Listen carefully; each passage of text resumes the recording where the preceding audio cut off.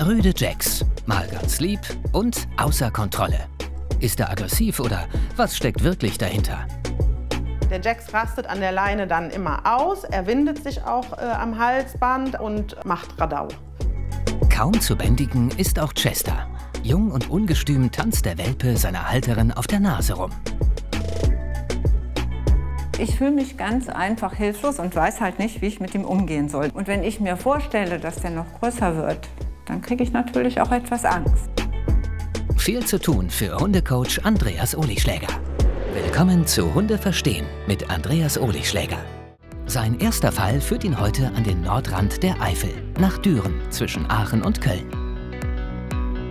Wenn ein Hund negative Erfahrungen mit Artgenossen macht, geht es an einem spurlos vorüber, bei anderen verändert sich das Verhalten schlagartig, so wie beim Mischling Jax. Der zweijährige Rüde Jax. Wenn ihm bei Spaziergängen Hunde entgegenkommen, ist er kaum zu bremsen. Er bellt, er zieht, er zerrt. Der Jax rastet an der Leine dann immer aus und ich merke dann für mich, dass ich auch gereizt bin und sauer werde und das dann negative Stimmung in die Situation dann bringt. Seit über einem Jahr lebt Jax, der als Welpe in ein rumänisches Tierheim kam, bei seinen Haltern Sonja und Franco. Anfangs ohne Probleme, doch dann kam es zu einem dramatischen Vorfall. Jax ist vor circa fünf Monaten von einer fremden Hündin gebissen worden. Er war an der Leine, die Hündin nicht. Und seitdem ist er fremden Hunden gegenüber ja, wie ausgewechselt und macht Radau. Nun hoffen die 42-jährige Zahnarzthelferin und der gleichaltrige Bankangestellte auf die Hilfe des Hundecoachs. Jax gehört zur Familie, aber so kann es nicht weiterlaufen. Jax bedeutet uns richtig viel. Wir würden den nie wieder abgeben wollen. Er gehört zu uns und soll auch bei uns bleiben. Andreas Olischläger ist immer besonders gespannt, wie das erste Treffen abläuft und vor allem, wie Jax reagiert. Aha, ein Hund. Hallo. Hallo. Hallo. Hallo. Als äh, Jax mich im Flur so angebellt hat, bin ich bei mir geblieben. Ich wollte ihm nicht die Aufmerksamkeit geben für dieses äh, pöbelnde Verhalten. Manchmal greife ich auch schon mal ein, aber hier war ich primär damit beschäftigt, wer ist Sonja, wer ist Franco? Was spielen die hier für eine Rolle in Jacks Leben? Als ich eben reingekommen bin, wo hast du gestanden, wo hat Franco gestanden und wo war Jax? Ja, ja, ich ich war auf dem Weg zur Tür.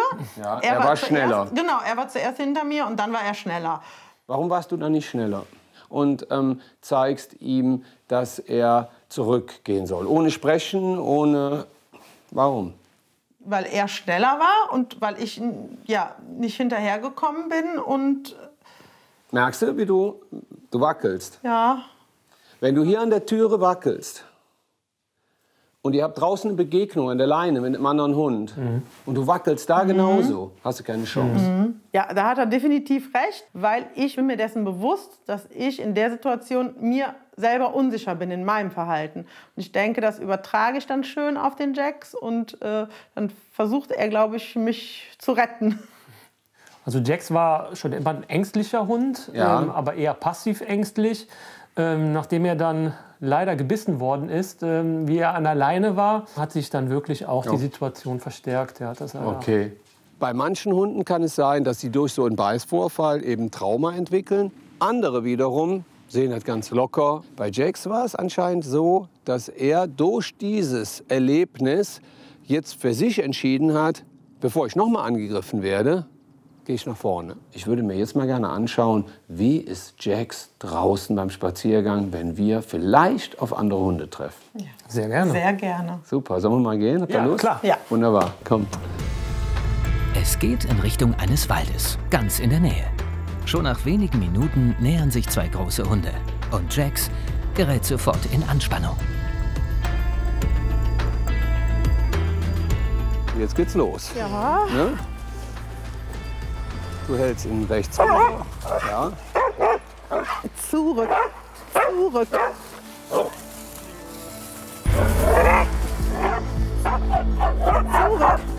Hallo. Kannst du mal eine Sekunde warten? Natürlich. Ja, super. Danke. Sonja wurde sofort unruhig. Sie wurde hektisch. Sie fing an rumzufuchteln. Das hat wiederum Jax dazu veranlasst, noch hektischer und noch massiver auch in seiner Körpersprache zu werden. Ich würde jetzt mal Jax an die Leine nehmen. Du bleibst einfach stehen. Ja. Und ähm, ich würde mal schauen, wie er bei mir reagiert an der Leine. Ja, damit ich dann der Sonja zeigen kann, wie sie eine Veränderung herbeiführt. Ich kann am Verhalten von Jax jetzt schon erkennen, dass es kein Aggressionsverhalten ist. Er liegt auf dem Boden, er wedelt mit der Rute, er ist relativ defensiv, auch wenn es offensiv aussieht, und ähm, er ist unsicher. Er ist sehr, sehr unsicher. Ich werde ihn jetzt mal an die Leine nehmen und mal schauen, wenn ich mich verändere, verändert sich dann auch Jacks Verhalten. Der Hundecoach zeigt, wie wichtig Klarheit und Führung für Jack sind, der sich sofort ganz anders benimmt. Unglaublich. Super, Schatz. Unglaublich. Super, Schatz. Toll machst du das. Also in dem Moment, wo Andreas die Leine übernommen hat, habe ich schon gemerkt, dass in dem Jax anscheinend irgendwas passiert ist, weil er direkt ja auch runtergekommen ist. Und in dem Moment ist auch von mir eine Last abgefallen, weil ich gesehen habe, er kann es auch anders. Jetzt bist du dran. Mhm. Gehst du alleine vorbei? Brauchst du mhm. Unterstützung? Ich versuche es alleine. Ja? Hältst einfach ein bisschen Abstand. Mhm. Wenn er sich korrekt verhält, machst du kurz, super, fein. Gehst du dran vorbei, macht er Stress, grenzt du ein bisschen ein, gehst dann wieder vorbei. Mhm. Bitteschön. Souverän, locker und cool. Ja, super. Ja, super. super. Genau, motivierend. Super, Schön. Jaxi. Ja, super. Geht doch. Ich war so stolz auf Sie. Ich denke, klatsch mal nicht so viel Beifall, sonst ist das nachher wieder weg. Und wie wird Franco sich schlagen? Super. Feiner, Jax. Sehr Fein. schön. Ja, komm mal her. Super. Fein. Er ist ganz anders als Sonja. Er ist viel ausgeglichener. Ihm fehlte noch so ein bisschen so die Begeisterung auch zum Hund. Ne? So ein bisschen mehr Leben am Hund dran. Aber für die erste Begegnung nach so einem Stresstreffen, super, Franco. Toll gemacht. Tipps habe ich noch für euch. Mhm. Aufgaben. Bitte sucht Begegnungen mit Hunden. Seid freundlich, seid souverän, seid entspannt. Mhm. Wenn er ausflippt, grenz ihn ein. Mhm. Sprich nicht so viel mit ihm. Ich würde mich freuen, wenn ihr mir ein paar Handyvideos von den nächsten Begegnungen macht, damit wir uns die das nächste Mal im Revier für Hunde anschauen können. Ich freue mich. Ja. Wir, uns auch. wir uns auch. Vielen Dank. Dankeschön. Gerne, gerne. Danke Tschö. auch. Tschüss. Tschö. Das Revier für Hunde in Eschweiler bei Aachen. Eine Begegnungsstätte für Mensch und Hund. Für Sonja wird das Coaching hier ein besonderes, aber auch ein tränenreiches Erlebnis werden. In Erftstadt bei Köln wartet der zweite Fall auf den Hundecoach. Bei Hunden, die in einem Haushalt leben, bei dem mehrere Personen anwesend sind, kann es zu Konflikten kommen. Mal hört der Hund besser auf Rauschen, mal besser auf Herrchen. Bei Gabi, Paul und ihrem Hund Chester ist das genauso. Und was da los ist, schaue ich mir an. Der erst fünf Monate alte Schweizer Sennenhund Chester. Ob im heimischen Wohnzimmer oder draußen auf der Straße, er macht, was er will. Halterin Gabi ist verzweifelt. Ich fühle mich ganz einfach hilflos und weiß halt nicht, wie ich mit ihm umgehen soll. Und wenn ich mir vorstelle, dass der noch größer wird, dann kriege ich natürlich auch etwas Angst. Ne? Bei Ehemann Paul gibt es weniger Probleme. Er scheint Chester besser im Griff zu haben wenn ich den Hund ins Kommando nehme. Er reagiert zwar auch mit Verzögerung, aber schon mal eher, als wenn meine Frau das macht. Es nervt mich manchmal. Und ich merke selber, wenn ich genervt bin, dann reagiert er noch angespannter.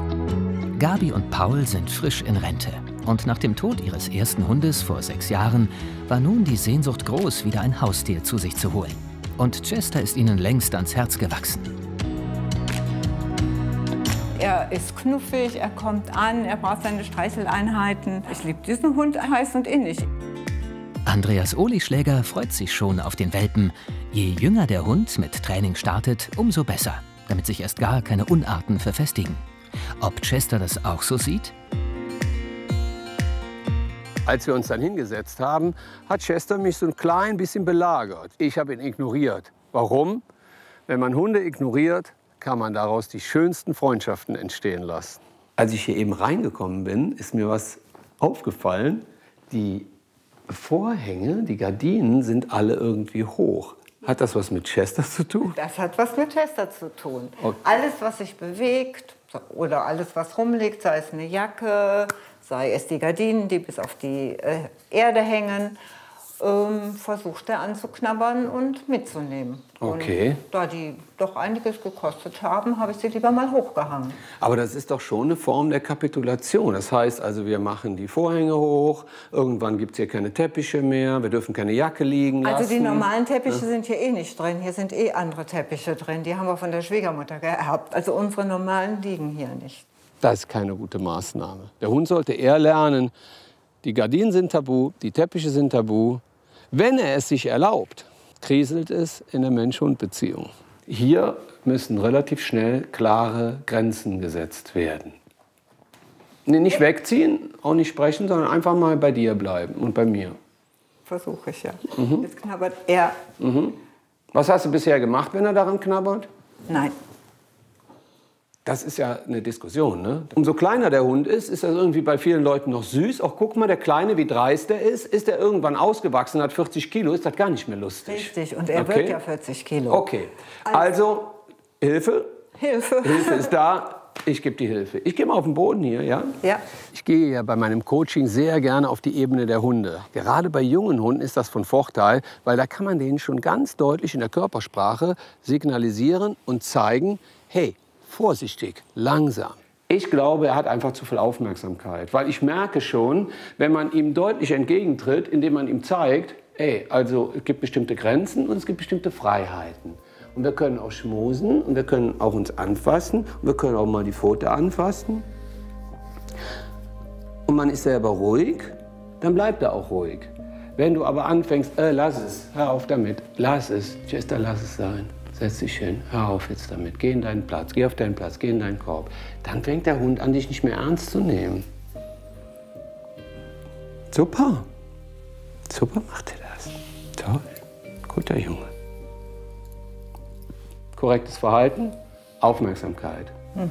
Unerwünschtes Verhalten, Ignoranz. Ich habe immer gedacht, das kann gar nicht sein, dass ein Hund plötzlich so anders reagiert durch eine Geste oder durch einen Ton oder einfach mal Berührung. Und jetzt habe ich es gesehen und ich muss mich eigentlich bei allen Hundetrainern, die ich bis dahin gesehen habe und nicht geglaubt habe, müsste ich mich eigentlich entschuldigen. Und hat Gabi sich schon etwas vom Coach abschauen können? Nein. Warum nein? Ja, jetzt gibt es ihm wieder die Zuwendung, die er einfordert. Okay. Er hat ja nicht mal, zu, er hat ja nicht mal Zuwendung eingefordert, sondern er hat, belästigt sie ja wieder. Ja. Psst. Zieh mal und dann hörst du mal auf, ihn anzugucken. Weil du gibst ihm ganz schön viel Raum. Ne? Boah, der belästigt dich, weil er das gelernt hat. Ne? Super, 1-0 für dich. Danke. Hast du super gemacht. War es schwer? Nö. Nö, ne? Man kann wunderbar klare Signale an den Hund senden, ohne ihn anzuschauen ohne ihn anzusprechen, ohne ihn anzufassen. Wenn wir das wirklich fühlen, dann kommt das auch beim Hund an. Achte auf meine Körpersprache. Mhm. Achte auf meine gesamte Energie, die ich rausstrahle. Das darf er lernen. Vorhänge hochhängen, Teppiche weg. Wo sind wir denn hier? Tja, nee, das geht beim Chester. Beim Chester? Nee, ich bin bei Gabi und Paul. Ich bin nicht bei Chester. Genau. Einige Dinge haben wir jetzt hier schon gecoacht und uns angeschaut. Tja. Und jetzt bin ich neugierig. Jetzt möchte ich mal mit euch und Chester auf die Straße gehen, um mir anzuschauen, was macht er denn draußen? Wie verhält er sich an der Leine? Und habt ihr Lust? Ja, ja selbstverständlich. Wunderbar, dann gehen wir. Alles klar. Und draußen zeigt sich bereits nach wenigen Metern, dass sich schon Unarten eingeschlichen haben. Denn immer wieder beißt Chester in die Leine. Warte mal. Läuft das immer so? Manchmal. Manchmal oder immer? Nein, nicht immer. Er hat sich die Leine genommen und da hatte Gabi schon wieder so dieses 21, 23, 29. Äh, ja, nicht da reinbeißen. Zu spät. Wäre sie klar in ihrer Kommunikation zum Chester gewesen, wird der Hund nicht mehr in die Leine beißen. Das lernen Hunde. Sie lernen auch, sich bestimmte Dinge rauszunehmen. Und Menschen lernen einfach zuzuschauen und zu sagen, ja, guck, der macht das wieder. Jetzt beißt er wieder in die Leine rein. Ich weiß manchmal selber nicht, warum gucken die Leute so lange zu dabei. Schnelles, eindeutiges Handeln ist gefragt. Dazu hat Andreas Paul gebeten, Chester ein Geschirr anzulegen. Und das hat seine Gründe. Ein junger Hund in der Entwicklungsphase, der auch an der Leine zieht, sollte mit Geschirr ausgeführt werden. Der ganze Rücken leidet darunter, wenn diese Schläge in die Halswirbelsäule reingehen. Da ist wirklich darauf zu achten, dass dieser Hund beide Seiten hat. Also einmal Halsband, einmal Geschirr. Dass er lernt, er soll an beiden Vorrichtungen vernünftig ausgeglichen laufen können. Doch Halsband hin, Geschirr her. Chester schnappt auch weiterhin nach der Leine. Chester, hey. So ist fein. Komm. Hey. Darf ich noch mal? Ja. Ja? Okay.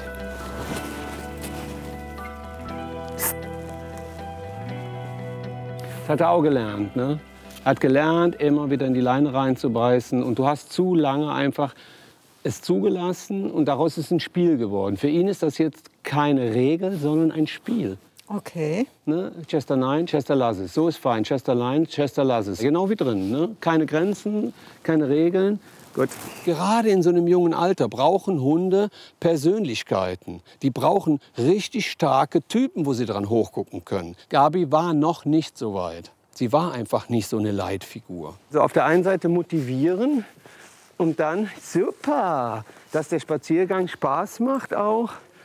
Und du musst halt im Timing wirklich aufpassen, dass du schnell bist und dass du dann so, sofort reagierst, wenn er versucht, was aufzunehmen oder wenn er in die Leine reinbeißt. Sofort reagieren und im Keim ersticken. Ja. ja, er hat ihm klare Grenzen gesetzt. Ne? Er hat gesagt, so, bis hier und nicht weiter.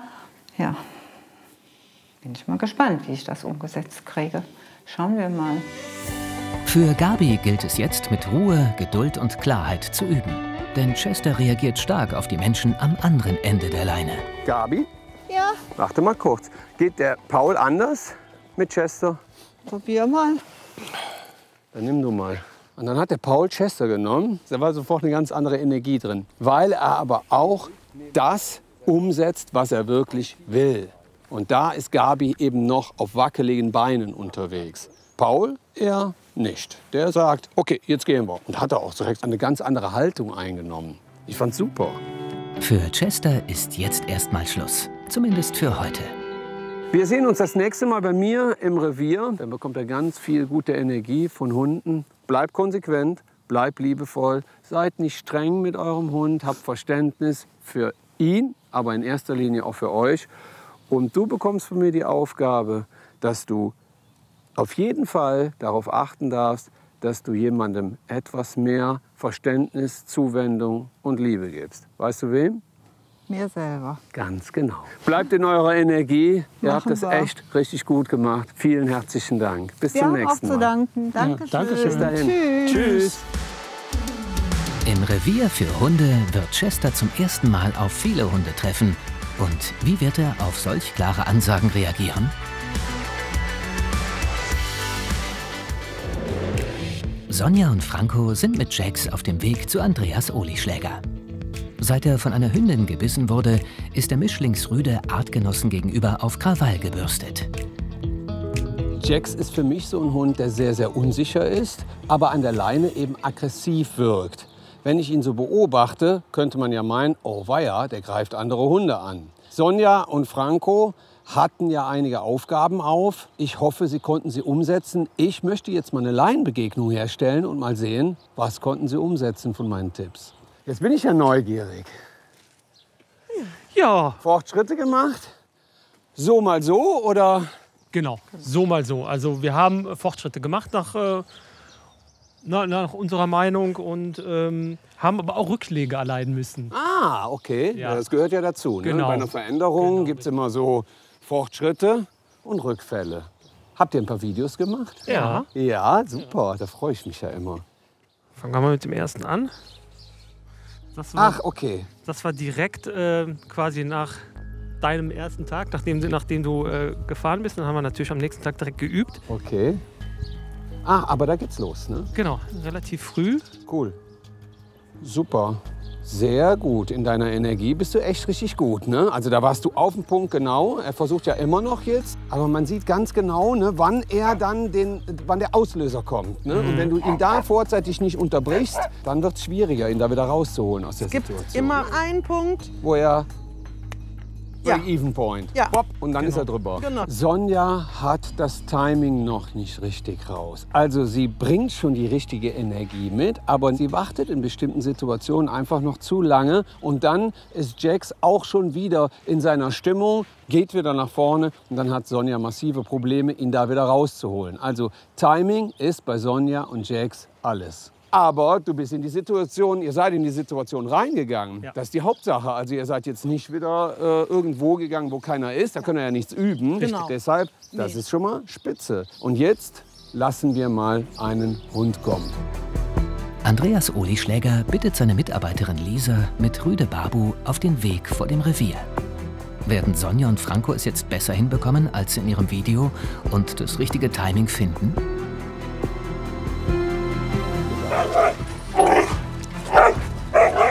Leider nein. Okay. Kommst du noch mal näher, Ja. bitte? Ihr beiden. Jax. Darf ich ihn mal nehmen? Mhm, gerne. Dankeschön. Ihr bleibt einfach stehen. Also, ich spiele ja gern mit langer Leine und trotzdem mit Führung. Jetzt beschwert er sich schon. Weil er will ja rüber. Und jetzt gehe ich in die Führung und sage ihm, du hast zwar Leine, aber trotzdem knallst du jetzt nicht zu dem Hund rüber. Ja? Schaut euch das an, danach machst du es. Oder du, wie ihr wollt. Gut? Super. Kurzes Signal. Toll, klasse, mein Schatz. Kürzer Körperkontakt. Und wir gehen ein Stück weiter.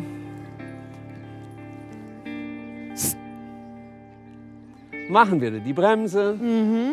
Gehen wieder ein Stück weiter, machen wieder die Bremse. Zeigst du erwünschtes Verhalten, ist es gut. Zeigst du unerwünschtes Verhalten, grenze ich dich ein Stück weit ein. Okay. Mehr nicht. Jetzt gehe ich näher zu Lisa und Babu und jetzt können die Hunde sich begegnen. Okay? Und wir haben einen komplett anderen Hund. Ja.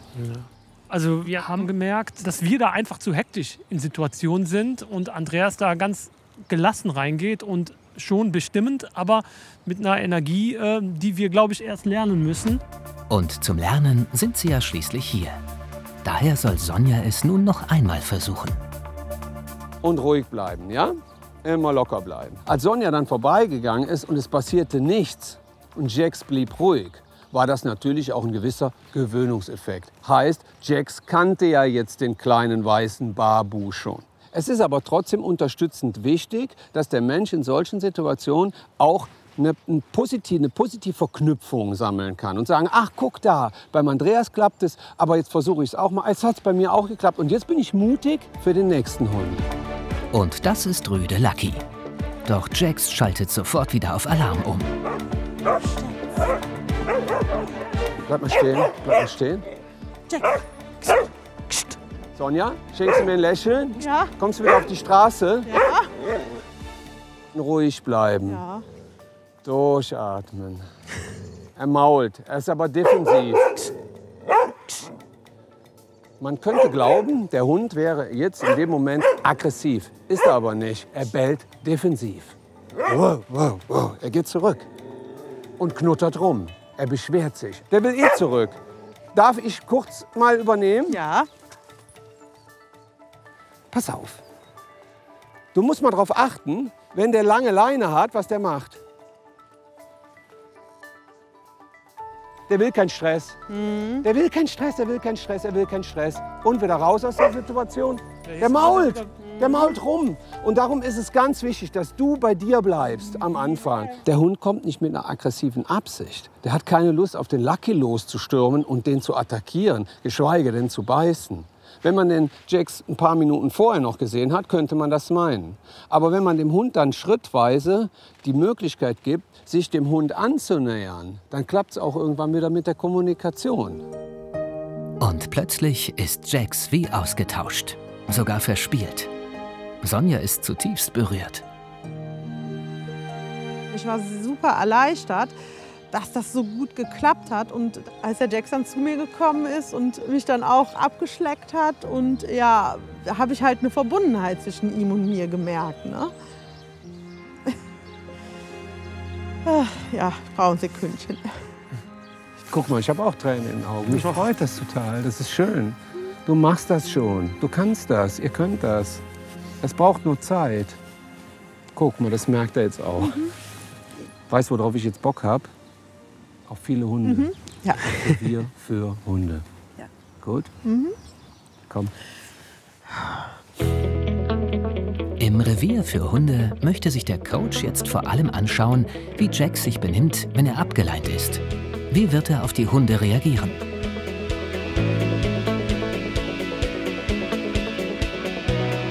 Erst zeigt er sich nur neugierig, bleibt aber ruhig und friedlich. Doch dann lässt er seiner Spiel- und Lebensfreude freien Lauf.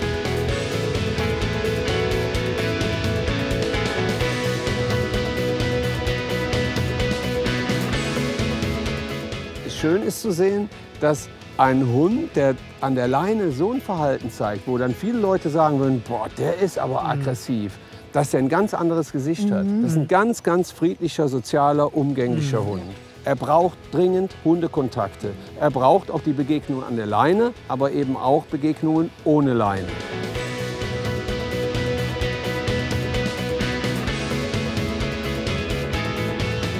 Es waren einfach schöne Bilder, ihn auch ohne Leine mal weitläufig laufen zu sehen.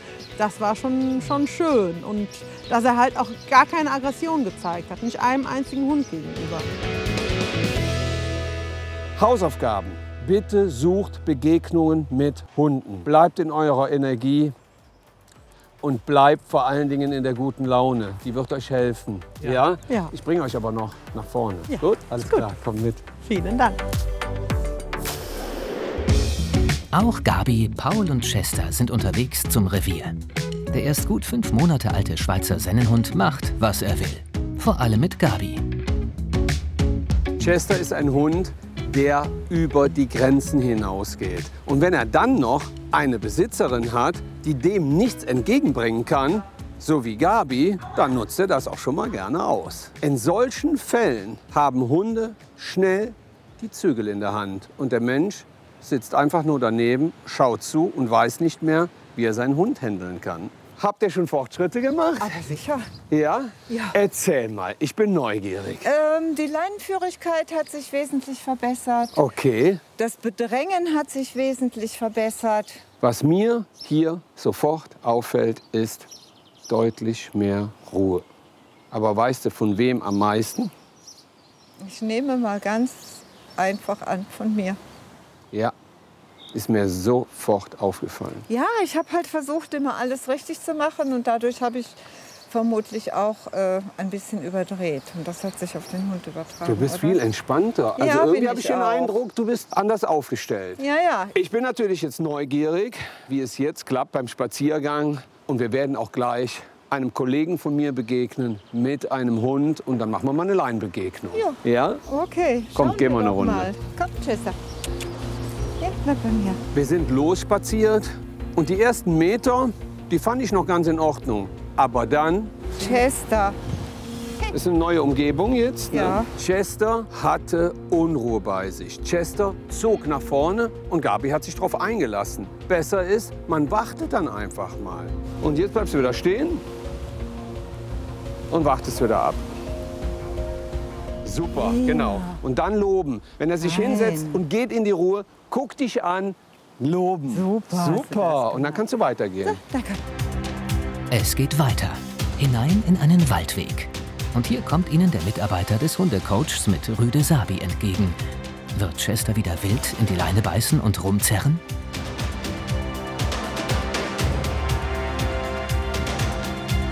Sehr gut. Warte mal, komm mal zurück.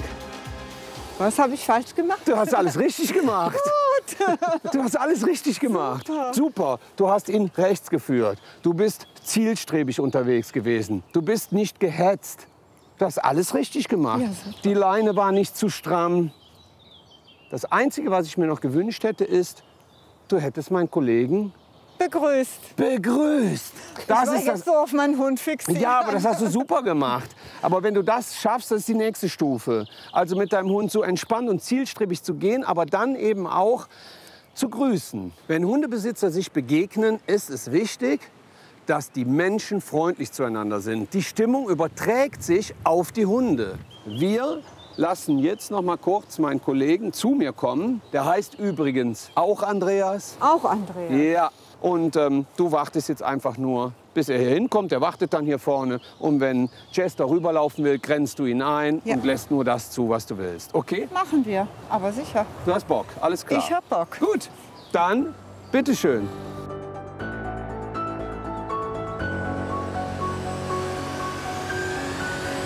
Hallo Andreas. Ja, genau, so geht's. Würdest du ihn jetzt lassen oder nicht? Nein. Was würdest du machen? Was hast du gelernt? Er soll erst mal sitzen bleiben, Und abwarten. abwarten. Sehr Genau. schön, super, genau. Weil der Sabi ist ein etwas älterer Rüde schon Mhm. und der möchte jetzt nicht bedrängt werden. Hier heißt es jetzt für einen jungen Hund einfach auch abwarten lernen. Okay. Wunderbar. Also mir reicht das hier. Wenn ihr Lust habt, gehen wir zusammen ins Revier Machen wir doch. und schauen mal, ob Chester noch ein paar andere Hunde kennenlernen möchte. Dann Genau. aber ohne Leine. Ohne Leine, aber Ja? sicher. Kommt. Komm. Gabi war definitiv anders aufgestellt. Ich hab's gespürt. Chester braucht genau diese Gabi. Ist doch logisch.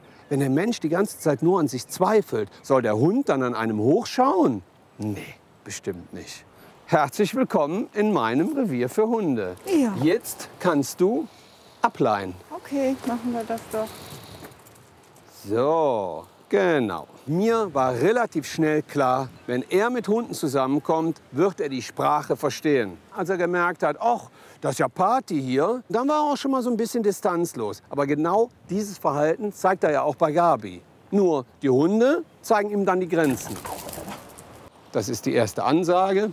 Und die muss er verstehen. Die versteht er, weil Molly räumt immer sofort auf. Da, jetzt will er sie noch mal antesten. Also ich habe Molly als sehr konsequent erlebt und gedacht, das ist eine Situation, die der Chester vermutlich braucht. Ne? Kurze, konsequente Ansagen. In der Tat. Denn vor allem junge Hunde brauchen den Umgang mit anderen, auch älteren Hunden, um von ihnen angemessenes hündisches Verhalten zu lernen.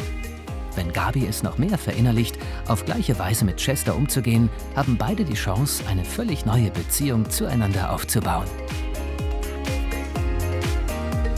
Von Hunden können Menschen ganz viel lernen. Und dann kann der Mensch lernen, Hunde zu verstehen.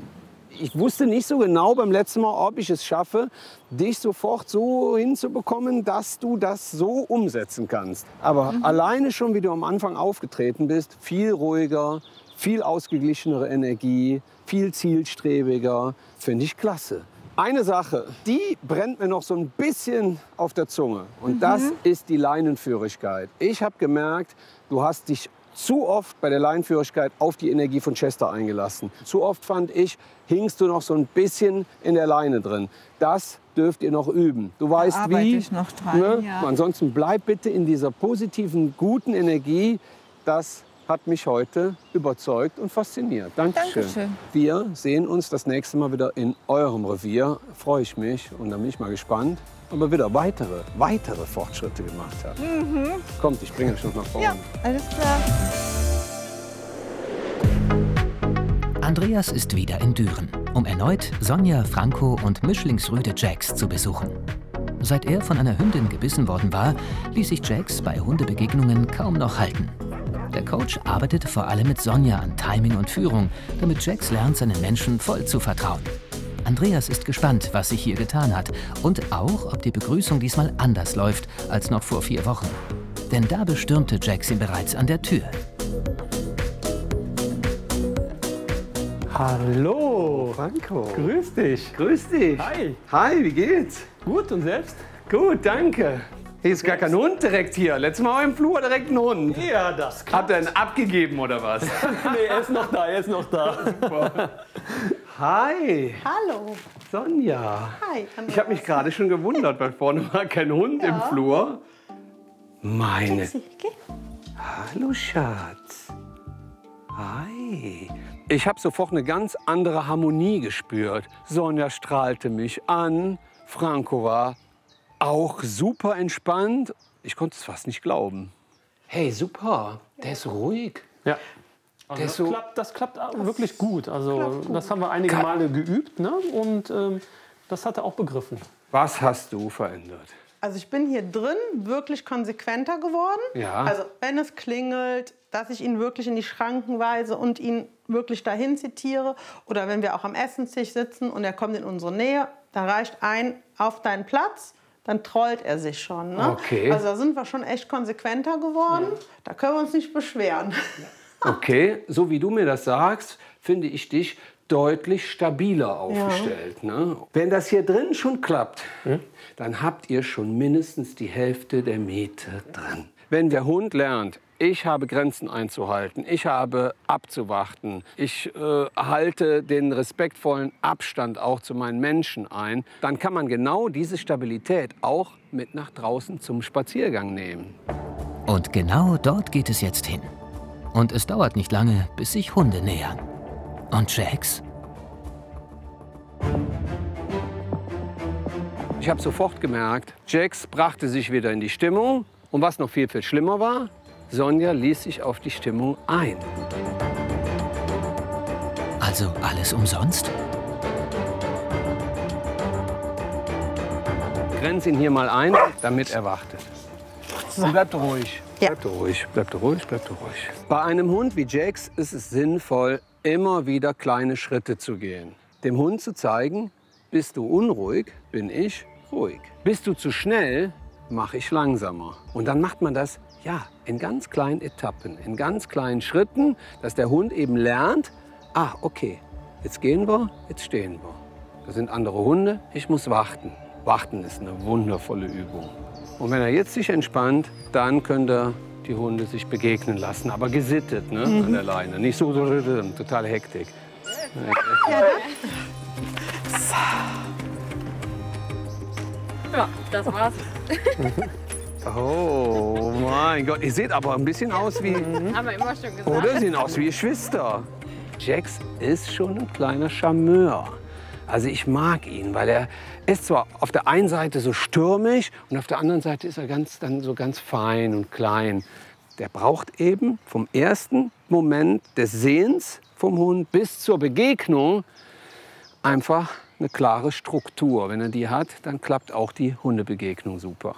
Im Nachhinein ist die Begegnung dann wiederum ganz gut gelaufen, weil man wieder gesehen hat, dass der Jax nichts Böses im Sinn hat, nicht aggressiv ist, sondern einfach nur zu dem anderen Hund möchte, ja, um keine Ahnung, zu begrüßen einfach. Es ist noch Luft nach oben. Mhm. Ne? Das haben wir heute gesehen. Zu Hause läuft es super. Sonja ist klasse aufgestellt. Ich freue mich riesig, dass du diesen Schritt gemacht hast. Jax ist kein aggressiver Hund. Eher das Gegenteil ist der Fall. Er ist ein unsicherer Hund. Aber wenn man ihn nicht kennt, dann sieht das irgendwie seltsam mhm. aus. Deswegen mhm. übt mit ja. bekannten Hunden und mit fremden Hunden immer die Erstbegegnung. Denn das ist sein Thema. Und das ist auch euer Thema. Ja, wenn was ist, bitte melden. Machen wir. Okay, und Super. ansonsten weiter so. Ich bin stolz auf euch. Vielen lieben Dank. Vielen gerne, gerne. Bis dann. Bis dann. Gut. Ciao. Ciao. Nun ist der Coach wieder in Erftstadt und gespannt, wie sich der inzwischen ein halbes Jahr alte Schweizer Sennenhund Rüde Chester entwickelt hat. Vor allem Gabi hatte größere Schwierigkeiten, den jungen Hund im Zaum zu halten. Bei Spaziergängen biss er in die Leine oder zerrte nach vorn. In der Wohnung bedrängte er Gabi und vergriff sich derart an der Inneneinrichtung, dass seine Halter die Vorhänge höher zogen und ihre Teppiche in Sicherheit brachten und teils durch alte ersetzten. Aber Andreas sieht sofort, hier hat sich was getan. Ich muss mal gucken, hier ist irgendwie... Alles anders. Hier ist irgendwie alles anders. Hier sind Teppiche und was mir sofort auffällt, die Gardinen sind wieder runter. Ja, was ist denn hier passiert? Ja. Habt ihr umgekramt? Ja. Wir wieder, haben, seid ihr wieder in alte Energien übergegangen? Ja, wir haben wieder unser altes Zuhause uns zurückerobert. Ich bin jetzt neugierig und möchte wissen, wie ihr das gemacht habt, dass ihr jetzt hier wieder die Führung habt. Wir haben versucht, uns konsequent durchzusetzen. Okay. Und haben erstmal peu à peu eine Gardine nach der anderen äh, runtergelassen. Chester? Als wir uns unterhalten haben, sprang Gabi auf einmal auf. Ich habe zuerst gedacht, hm, sehr unhöflich. Nee, gar nicht. Sie hat Chester wieder auf seinen Platz gebracht, weil er aufgestanden war. Aber sie machte das mit so einer Zielstrebigkeit und mit so einem guten Timing, da wusste ich, mein Coaching hat gefruchtet. Top. Das ist eine andere Gabi. Dankeschön. Ich merke das ja auch, wie, die, wie sie jetzt mit dem Hund umgeht. Ne? Das ist also eine ganz andere Form von Konsequenz, als es vorher war. Okay. Und der Hund überlegt zwar manchmal noch einen Moment, ob er halt der Aufforderung nachkommt, aber letztendlich macht er das dann doch, was sie von ihm möchte. Und ich glaube, dem Hund tut es gut, uns tut es auch gut, weil es wesentlich einfacher ist, jetzt mit den Situationen umzugehen. Ja, super. Das, was ich jetzt hier drin gesehen habe, überzeugt mich. Aber ich habe ja noch ein Problem bei euch entdeckt, nämlich mit der Leinenführigkeit. Und auch, dass Chester immer wieder in die Leine reingebissen hat. Beißt er noch da rein oder nicht? Das würde ich mir jetzt gerne draußen mal anschauen. Dann lass uns rausgehen. Chester, komm. Super. Chester an der Leine, das hieß vor wenigen Wochen noch Chester in der Leine. Und das mit vollem Körpereinsatz und seinen Zähnen. Und heute? Okay, geh einfach Alles mal ein klar. Stück mit ihm runter. Kommen, ja. Super. Klasse. Chester, nach. Okay, kannst du noch mal zurückkommen? Chester, umkehrt. Ja. Chester. Aha. Wenn ich dir noch einen Tipp geben kann, Ja, gerne. pass auf, darf ich mal haben. Und zwar wäre es ganz gut, wenn du ihn, wenn du mit ihm losgehst, ein bisschen positiver motivierst. Okay. Also ein, ein wenig mehr so, da komm, ja super. Äh, äh. Ja. Super, mein Schatz. Super, mein Schatz, super. Und dann so ein bisschen, so ein bisschen spielerisch. Äh, äh, äh, äh. Wenn du in die Leine reinbeißen willst, änderst du sofort wieder deine Stimmung. Ja. Aber ansonsten versuch mal so ein bisschen. Okay. Hey, wir gehen zusammen spazieren. Das macht Spaß. ja, willst du mal probieren? Ja, gerne. Und wenn er dann versucht, in die Leine reinzubeißen, dann fährst du sofort wieder runter. Bleibst einfach stehen und bist wieder cool. Ja, ja. Chester, da komm. Gehen wir spazieren? Ja, fein. Super. Klasse. Und zurückkommen. Chester, komm. Sehr schön. Super. Bei Gabi, Paul und Chester bin ich besonders glücklich, weil bei jungen Hunden braucht man ganz, ganz viel Geduld. Gabi hat sich so gedreht, ich hätte es nicht für möglich gehalten, dass es in so kurzer Zeit möglich ist. Der Paul war als Hintergrundfels die ganze Zeit aktiv, auch wenn das manchmal so aussieht, als wäre er gar nicht mit in der Erziehung dabei. Doch, doch. Die drei haben riesen Fortschritte gemacht. Chester, gewöhn dich schon mal dran. Du wirst einen sehr stabilen Menschen mit Gabi an deiner Seite haben, der genau auf den Punkt dir sagt, wo es lang geht. Top. Immer dann, wenn es am schönsten ist, trennen sich die Wege. Genau. Vielen Dank. Gerne, gerne, wenn irgendwas ist, meldet euch bei mir und bleibt konsequent, aber liebevoll. Machen wir. Ich wünsche euch was. Bis dann. Tschüss. Ciao. Tschüss.